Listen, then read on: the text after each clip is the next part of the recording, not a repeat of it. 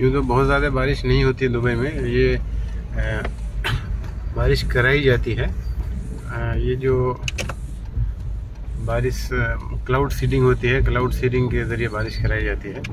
तो बहुत ज़्यादा बारिश होती है यहाँ पे क्लाउड सीडिंग के नतीजे में।